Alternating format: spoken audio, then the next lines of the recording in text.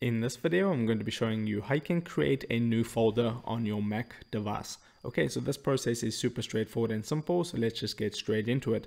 So I'm on my desktop right now, and if I would like to add a new folder within my desktop, all you need to do is on any blank space on your desktop, so don't click where you have icons. You want to right click anywhere on a blank space on your desktop.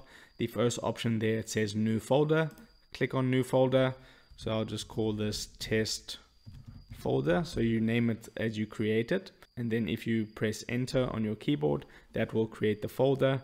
You can move it around wherever you want to. If you would like to edit this folder, so, so you can right click on it, you could like change the color of it. So if I wanted red, you can see it has that little red dot there now. If you would like to rename your folder, once again, right click on it. Then you get the option here that says rename. So I'll just call this my channel name.